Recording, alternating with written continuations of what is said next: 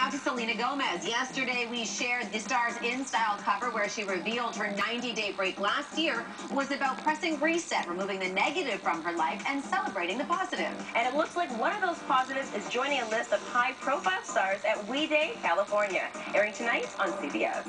I'm happy that I can do anything I can by just being here, being a part of it, contributing, and just celebrating it. Because hopefully it inspires other people to do the same. Are you ready, We Day? If you want to roll up your sleeves and make a difference, you've come to the right place. We Day is back, this time taking over LA. You Canadians, you get me. I actually, this is my fifth time being a part of the We Days. I guess this is a movement for sure. And my second time hosting. Selena leads the A-list lineup, inspiring like-minded youth who want to create change in their communities. If I put my mind to something, I can do anything. And that sounds cliche, but it's not that you're capable of doing it if you set your mind to it. And that's what these kids are doing. These kids are doing more than I've ever done, so it's crazy. Demi Lovato, Alicia Keys, Josh Gad, Tyrese Gibson,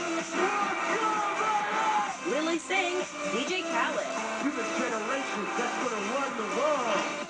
Sweetheart Alessia Cara even takes the stage. I always said if I'm given a platform to do anything, I might as well say something that's worth saying. Making her big We Day debut.